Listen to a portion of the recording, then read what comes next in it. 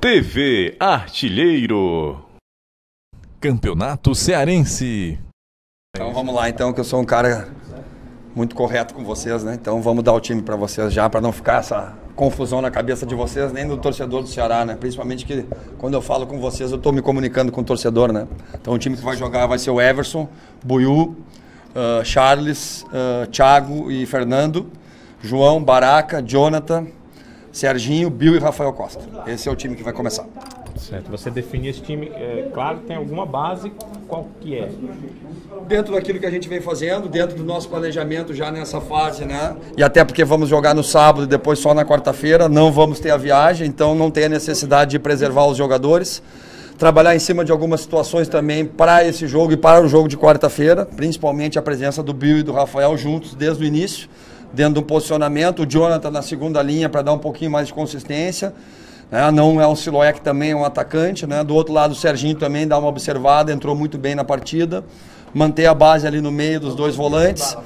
Revezar um pouco ali o, o Carlão e o Charles com o Thiago, até para uma questão física. Né? O Cametá e o Biancucci foram os que referiram mais dores localizadas e um risco um pouco mais elevado de, de perder eles para o jogo de quarta-feira. Então esses dois não vão estar nem no banco, nem relacionados.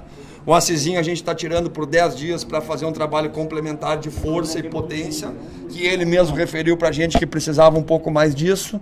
Então, dentro dessas, de todas essas análises aí, a gente acabou optando por essa equipe, dar um pouco mais de ritmo para ela também. E acreditamos que tem um tempo hábil né, de recuperação de sábado para quarta e também é um jogo importante para a gente, fechamento da fase, um adversário que também está classificado, é o segundo, e a gente vai tentar aí pontuar o máximo possível também nessa fase. Você imagina com esse time, claro, além da vitória e os três pontos? Bom, imagina um bom, um bom rendimento, né? um entrosamento já bom do, do Bill com o Rafael, um pouco diferente do que a gente usou lá no segundo tempo. Né? Lá a gente usou o Rafa um pouco mais aberto e o Bill mais no centro. Pretendo usar os dois mais pelo centro, revezando algumas situações, algumas movimentações que a gente vem trabalhando desde a semana passada. Dar um pouquinho mais de consistência na linha pelo lado direito. O Jonathan já é uma característica de mais contenção do que chegada. E manter ali atrás, dar um pouquinho de ritmo para o Thiago, que tem vindo muito bem os jogos que ele jogou também. E finalizar bem essa fase e começar a preparar o time também para quarta-feira. Além de analisar, é claro, vocês estão buscando a, a, pontuação máxima. É esse o objetivo? Também, né? Sempre a gente busca a pontuação máxima, né? E como viemos muito bem no Cearense, né? Nós estamos com, com 18, fizemos 21 pontos disputados e ganhamos 18, né? Então nós, dentro do nosso planejamento também, agora nós não temos a viagem na véspera do jogo. Jogamos em casa na quarta, jogamos em casa aqui também no sábado. Não tem nem a viagem do Cearense. O jogo passado nós tínhamos que ir a Quixadá e depois tínhamos que ir ao Maranhão. Agora não, nós vamos jogar em casa e depois vamos jogar em casa de novo. Então há um tempo maior também de recuperação dos jogadores. Então são todos os objetivos juntos, né? Fazer uma, uma pontuação maior, preparar o time no jogo também para o jogo de quarta-feira, que é decisivo para a gente. Uh, dar ritmo para alguns jogadores, uh, trabalhar algumas alternativas. Então é um jogo bem, bem importante para a gente. Obrigado. Tá Tem um convite nesse né, time ao torcedor. Os, as rendas, os públicos do Ceará têm sido tão baixos. Você coloca uma equipe muito boa. O Rafael Costa, por exemplo, reestreando pela primeira vez em casa, é um convite para que também o torcedor acompanhe, né, Luiz? É verdade, né? O torcedor do Ceará sempre na hora do, né, do aperto apoia, né? E também um bom teste para o torcedor e boa preparação para o jogo de quarta, né? Porque, claro que amanhã é importante o público, mas quarta-feira nós temos que botar pelo menos mais de 10 mil pessoas no PV, né? Fazer o nosso caldeirão, e, e apoiar o time, incentivar, né? vibrar com o time, apupar o adversário, a arbitragem, tudo dentro da regra do jogo, né?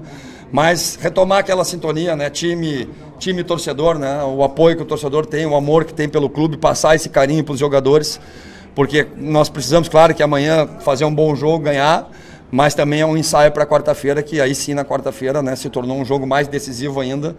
Nós não conseguimos a pontuação que nós gostaríamos no primeiro turno, mas ainda dependemos da gente e precisamos agora ser 100% em casa, né? Ganhar tanto do Sampaio como do Vitória. E é isso que nós vamos tentar fazer. Fica um pouco de saudade daquele apoio todo que aconteceu na Série B?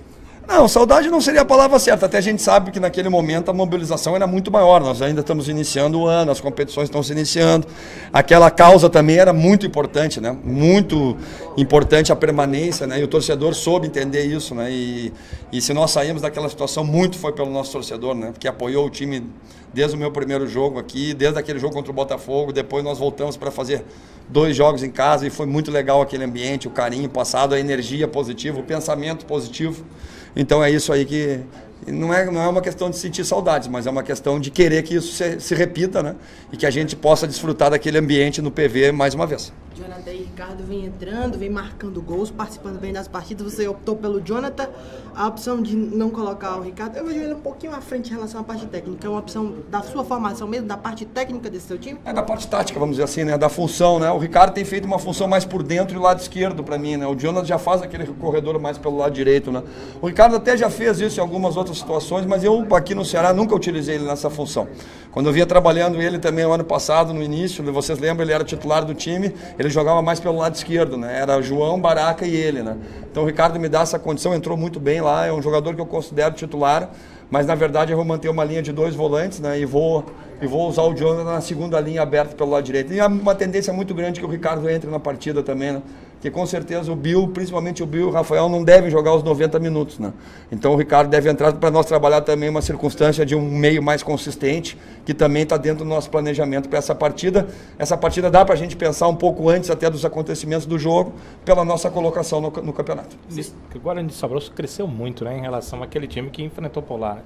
Tenho certeza que você já está muito bem informado, tanto em mudanças de jogadores, quanto acho crescimento técnico do, do, dos jogos mesmo, né? A gente já previa, né? Já tinha comentado isso com vocês também, né? Com o decorrer da competição, com uma hora entrosamento, o Guarani também teve uma, uma dificuldade muito grande no início, naquela questão de documentação para quem já viveu isso sabe que o ambiente no clube fica complicado, fica muita dúvida, alguns jogadores saem, outros ficam, mas sabe, começam a ficar com a cabeça confusa.